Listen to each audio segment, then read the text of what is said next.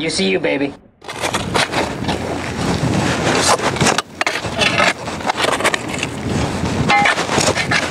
Tough.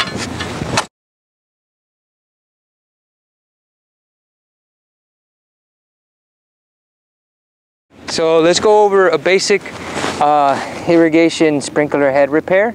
Uh, right here, as you can see, this one's actually sticking out of the ground tilted. It ain't gonna do any good like this. This could have been caused by uh, someone running it over with their bikes, with their cars. Some of the things that we're gonna need in order to repair this is a, is a shovel and, and a little hand shovel. So you wanna make sure that you don't get the pipes. You wanna make sure where the pipes are at. So you wanna dig slowly and gently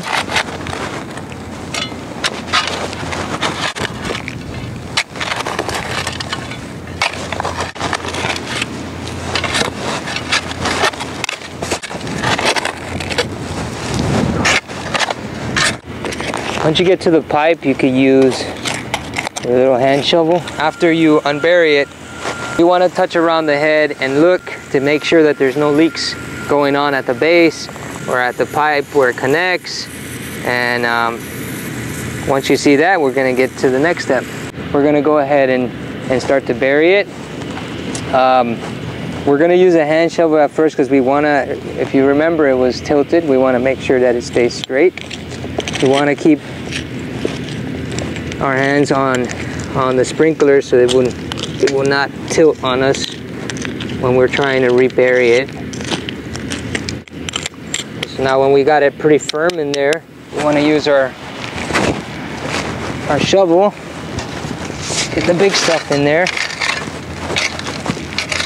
As you can see, it's pretty solid in there. We don't have a problem with it tilted anymore. It's going to start to um, water what we want it to water. Um, and it's pretty simple. Uh, don't be afraid to do this. It's, it's not very hard at all. And um, that's basically it. All right, well, here's a situation where we have a maintenance issue. Um, as you can see, this is an MP rotator and the way it's supposed to work is supposed to rotate and evenly distribute the water. But right now we see a clog going on and you notice in clogs that you no longer get that even application. So now let's go over a way that um, we could fix this, this clog situation. So the first thing we're gonna do, we're gonna turn off the water. We're gonna make sure we hold on to the head because this is a pop-up. The first thing you do is take off the head. And as you can see, there's a, a filter here. You wanna make sure you clean any debris or any type of dirt that's on there, sand. So also in, in a, in a multi-stream spray, what you want to look at is the emitter, so you push down at it and you make sure that there's nothing in there, no rocks, no sand or anything like that. If you could look in there, there's there's a little piece of rock in there that was making, that was causing all that, the problems.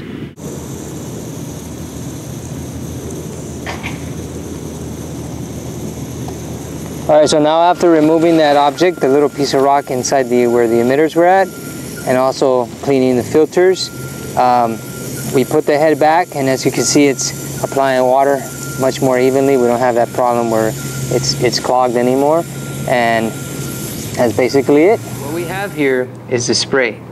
We were actually working with these earlier in the field um, and we're going to go ahead and take that apart just so you can see what's inside of it. First thing is, what you saw in the film earlier is the filter and the, the nozzle. The next thing is, inside of it is the spring and then it has a stem and then the body. Now let's take a look at the various pieces we have here because in order for us to identify the problem we need to look further into the different parts. Um, usually when we have a, clog, a clog we're going to look at the nozzle which is usually when it has debris inside of it and the water can't come out. And it's also with the, it has to do with the filter when it's too clogged you might want to clean that out in order for it to flow out correctly. Um, the other thing we look at is the base leak, which underneath of the the spray, um, you would notice that there's a connection there.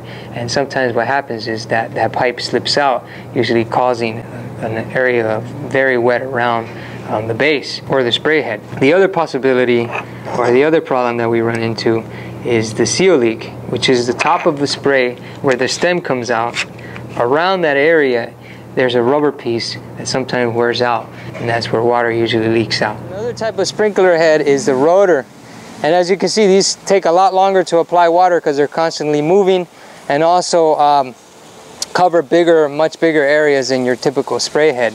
The problem with these type of sprinklers is that sometimes they get off track, meaning not watering what they're supposed to be watering. It's important to note that every one of these type of sprinklers has a manufacturer and it's important to know which manufacturer makes it so that way you can look at the manual and you can find out how exactly how um, to adjust the throw and also to adjust the turn on it making sure it's not hitting anything else that is not supposed to.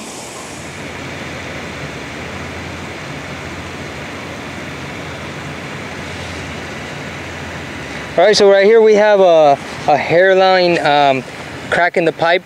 Uh, these aren't the easiest repairs to do, uh, but we're gonna go ahead and show you how to repair them. Um, most of the time you see the pipe is in the ground. In this case, we have it above the ground.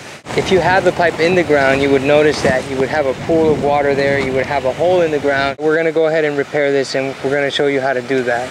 So the things we're gonna need to repair something like this is we need to know the size of the pipe.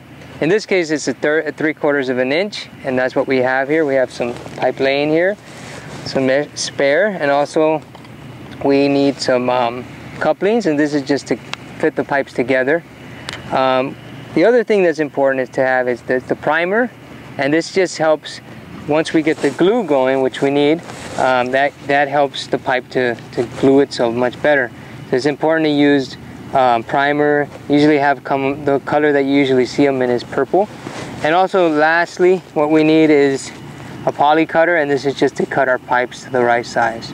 In most people's cases, these pipes are underground, so you're gonna wanna bear, unbury it. So ahead and putting a little primer on it just to get the pipe a little softer.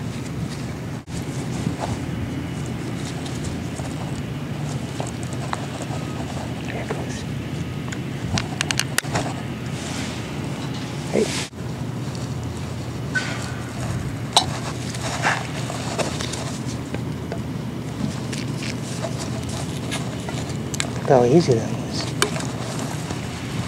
So once the pipe is cut, we use the coupling, a little primer on it.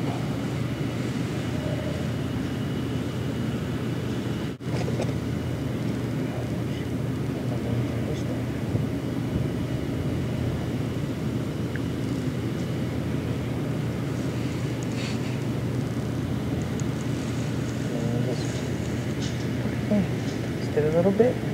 In this case, we have a pipe that actually has a fitting on it, um, so we won't need another coupling. So we're just going to go ahead and do the same thing on this side.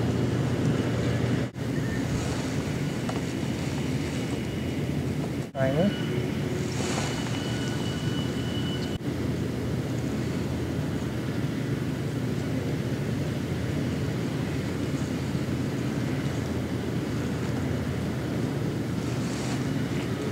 So we went ahead and turned it on and as you can see, there's no leaks going on.